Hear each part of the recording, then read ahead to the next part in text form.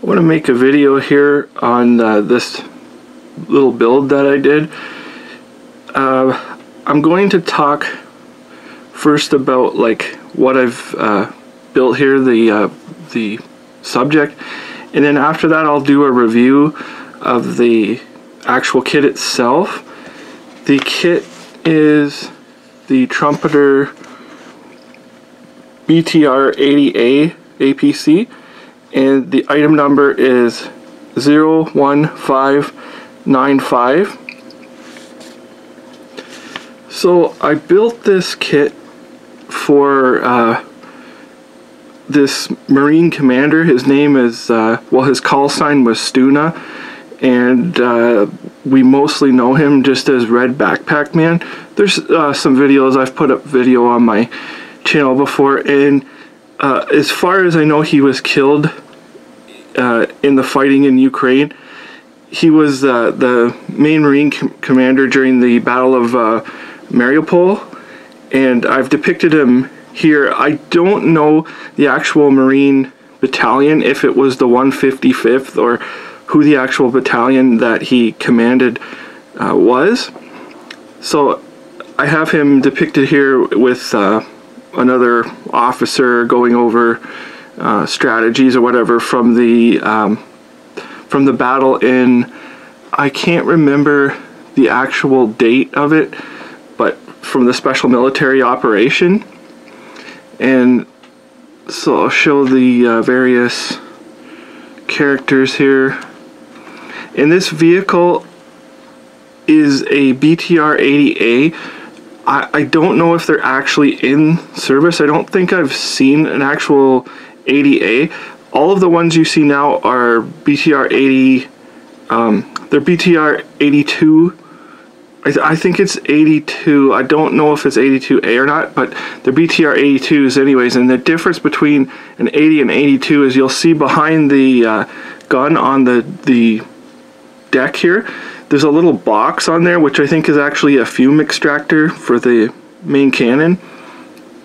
And then the the easiest way to tell is there will be two little tubes that are on top of the exhaust here, and I think those tubes, I'm pretty positive that they're extensions for the uh, exhaust, which is like right here, the the uh, filters they uh, they stick on here for uh, fording in the water, and you'll see them if if you see them in the water, they've got those uh, stacks on there, and I think they just house them in that uh, tubing on the outside of the vehicle.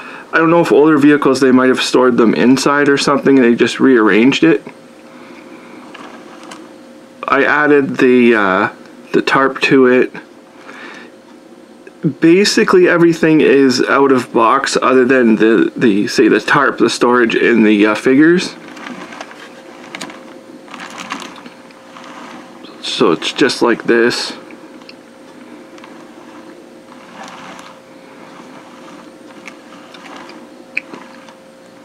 I'll try to zoom in on it.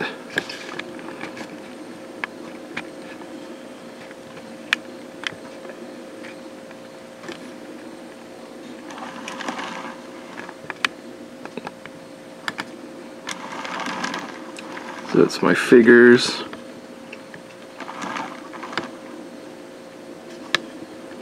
And some of the details on it. And it has a full interior.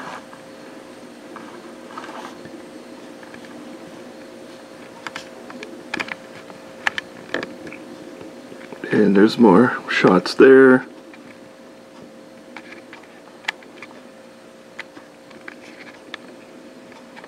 The BTRs that the uh, the Marines use, they seem to be painted up in all kinds of different camouflage patterns. Like they have the base, like they have the base um, green color, and then this one here I've depicted with just the brown camouflage on it. But sometimes you'll see them with like a dark green. Sometimes they're kind of really elaborate, like multi-colored patches on them and different things. And I'm guessing the crews have sort of like leeway to uh, paint whatever they like however they want to paint their vehicles whatever crew they they can paint it how they want there doesn't seem to be much uh, like uniformity in the vehicles because they look completely different. Sometimes they have no camouflage on them at all and it's just left green.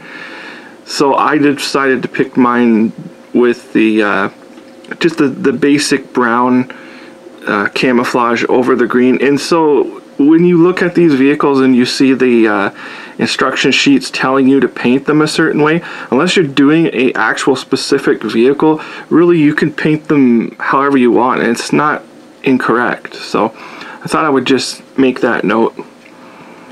Now as far as the um, the kit goes, like it's a very um, it's it's quite simple for a full interior kit. Like it's not really a full interior. You don't get the engine in it, and it's like the the parts inside are not that heavily detailed. They're good for like these open doors and things.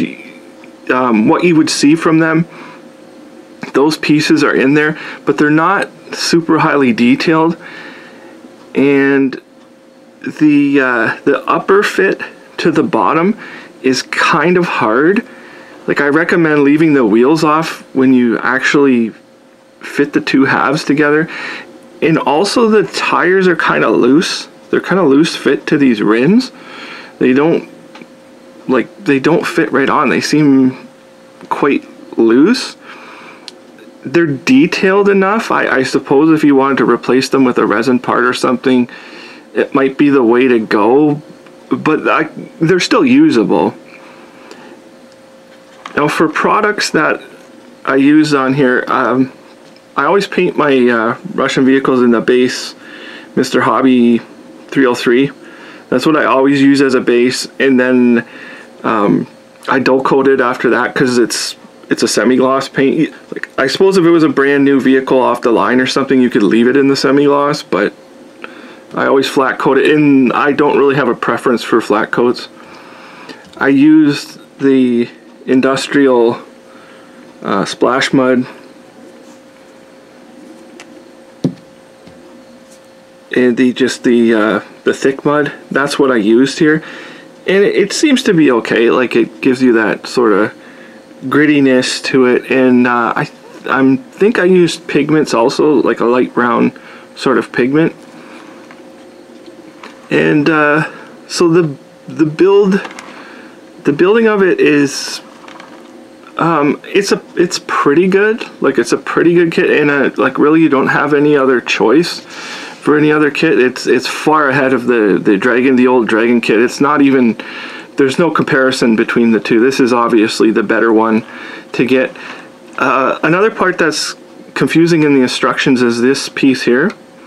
The the actual fitting of these little uh, they're actually photo etch and you have to bend them which is kind of hard to, it's it's hard to get them uh, uh, to properly bend them but I mean it's doable and that was the on, the other concern. Same with these pieces back here which have the disease on them.